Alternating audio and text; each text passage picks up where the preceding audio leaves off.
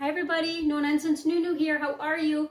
Today I'm going to make turkey, pumpkin, white bean chili. had to think about that. Sorry, it's been a while. Um, been kind of lazy and I've had a lot of things um, had to do around the house. But anyways, here we are. So I'm not a chili person, but I love this chili. It's really, really delish. I'm telling you, the kids even love it. Uh, but here we go. Let's start. So you need a crock pot. Okay, voila. In the crock pot, I put one of these. Okay, and I think it's like four and a half cups of turkey broth, or you can use chicken broth. Tastes the same. But I just like to use turkey because I use turkey meat. Um, in the pot, you're to put that, one container of the turkey broth, uh, two pounds of turkey, ground turkey, okay? I already put the broth in there. And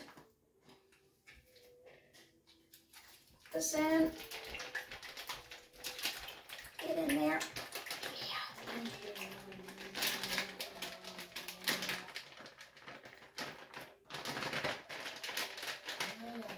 Okay, worry about that later. Two cans of pureed pumpkin. Okay. A little spatula. Put that in there.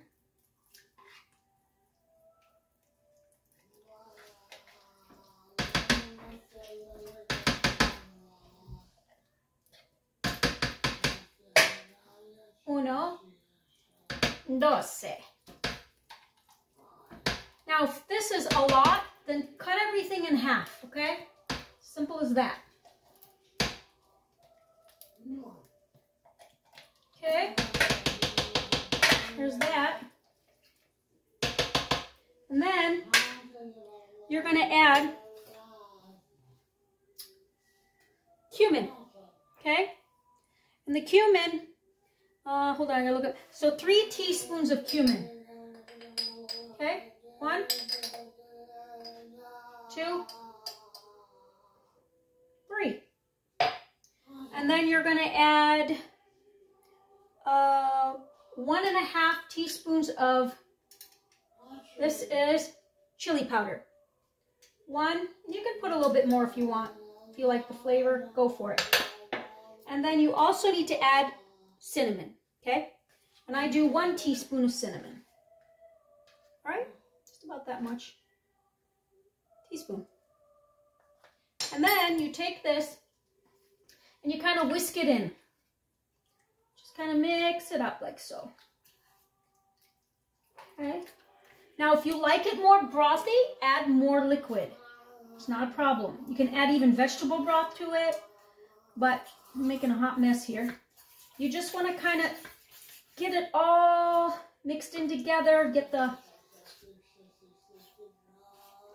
turkey and the puree to separate, okay? And there you have it. All right, so just so you can see what it looks like, you see? So I got it all mixed in there like that. And then after that, you're then gonna add one large chopped onion, okay, which I have right here, and four cloves of garlic, okay? Now I'm a garlic whore. So I used four large cloves of garlic, but four cloves of garlic, one very large onion. You're gonna add that in. So, I'm telling you, you're gonna love it. My God, so good. Then you're gonna add three cans of diced chili, green chilies, okay? And they're four ounce cans. They come like four ounces or four and a half ounces. It doesn't matter. It's fine. Put those in there. And then I have three cans of beans. And these are the, I use organic um, Great Northern white beans. So you want white beans, any kind of white beans. And you're going to add that to the pot. First I'm going to mix this in. Okay. I'm making a lot because all the kids are in town. So hopefully we're going to have this. And I usually, what I do is I make this um, the day, the night before I'm going to eat it. So we're going to add our beans. Okay.